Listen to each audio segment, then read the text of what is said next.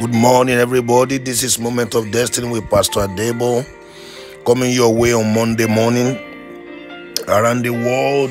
Let's start by giving thanks to God. This the last, uh, this the week uh, that the Lord has made. The Lord has enabled me and you to be able to see. Let's thank Him. I mean, this is Monday, the first working day of the week. Let us go ahead and bless His name. Let's go ahead and appreciate Him. Let's bless Him. Malagadebo Shkoba. Lord, thank you. Thank you, thank you, thank you for your mercy that is rich over us. You are rich in mercy yourself. My Father, we thank you. We thank you for your mercy. We thank you for what you have done. We thank you for what you are about to do. Father, we appreciate you. Somebody lift up your voice where you are and thank Him. There's nothing like appreciating God for His mercy. Appreciate Him. Wherever you are, please join me to thank this wonderful Father. He's a God of mercy. He's a God of mercy. You are a good, good Father. Ah, we bless you, Lord Jesus. Uh, it's to say, You are good, good Father.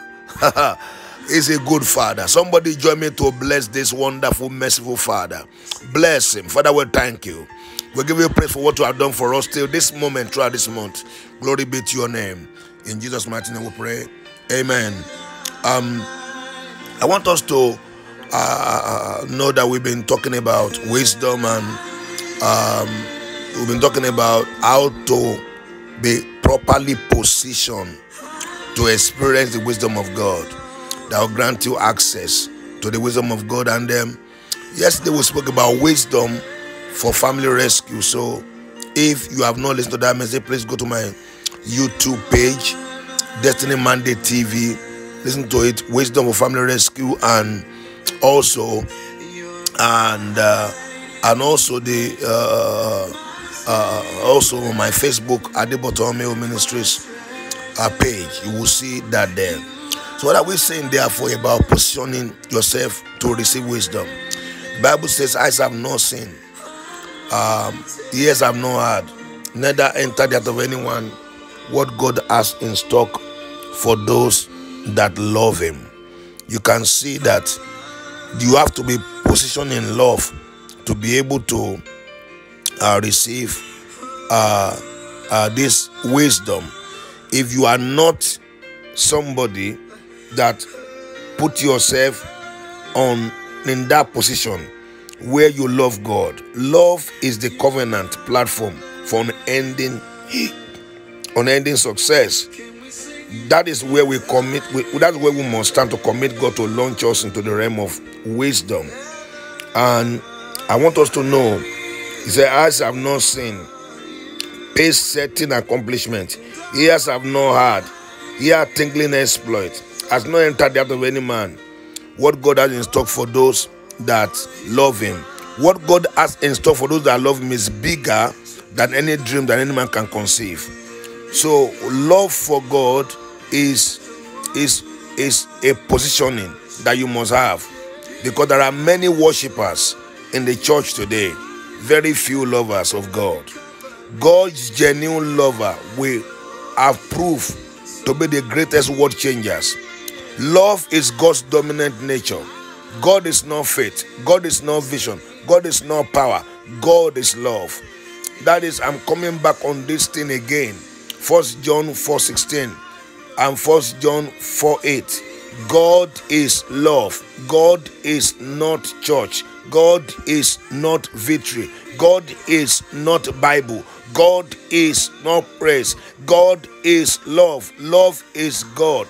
That is God's dominant nature. So it dwells in love. So he that dwell in love dwell in God and God in him. And you and God form an eternal unbeatable team in the context of life. And that is we will see generational success built on this platform. And at the end of the day, you will be left to make your choice on which side of the line to belong. I want to let you know when you somebody talking about somebody loving God, what does it mean to love God? To love God, the Bible call it First John, uh, First John five three. He said, "For this the love of God that will keep His commandment and His is commandments are not grievous. By Biblical definition of love for God is keeping his commandment with delight. John 14 21. He said, He that love me, my father will love him, and will manifest ourselves to him. God's love is defined by the quality of your obedience to his commandment. That is why I want us to believe God today. Many people they are worshippers, they are not lovers. Many people they they they they, they, they, they, they, worship God, but their love level of God is low. And that's what we that's why there's limit limited access to the wisdom of God. And that's why we want to pray today. We want to pray that the Lord God Almighty will, will help us to love Him more. The quality of your obedience is what defines the quality of your love for God. If you love God, let it show in your obedience. Many people don't obey God. They all come to church, they hear the word of God, they don't obey it. They choose, they choose and pick. They cherry pick what they want. No, lovers are obedient. When you love somebody, you don't want to offend them. When you love somebody, you will be obedient to them. When you love God, you will be you you obey Him with delight. So the quality of your obedience define your love level. So let us not love in words, but in truth and in deed. First John three eighteen. God's love, God, God's word, God's love is not in words, but in deeds. Many in the church draw to God only with their mouth. Their heart are far. True lovers, true God lovers are wise and will always have something to show for it. I'm going to pray, Lord, help me to love you. Help me to walk in obedience. Show me how obedient you are. I will show you how much love for God you have. Lord, I receive grace to walk in love. I receive grace to love you. Lord, help me. Help me today to love you.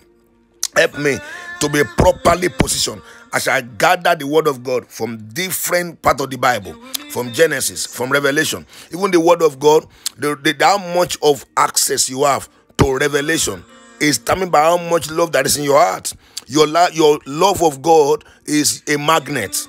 When you have love in your heart, it opens the secret to the pages of the Bible when you pull scriptures from Genesis, from Revelation, from Isaiah, those are the stick of those are the sticks you are gathering for fire.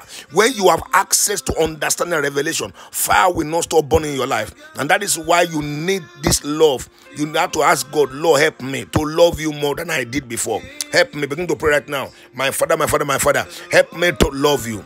Help me to love you more and more than before. Help me, Lord. Help me that my love will be waxing stronger for you. Thank you because you have answered. In Jesus' mighty name, we are praying. Amen. If you are there, you are not born again, take this prayer after me.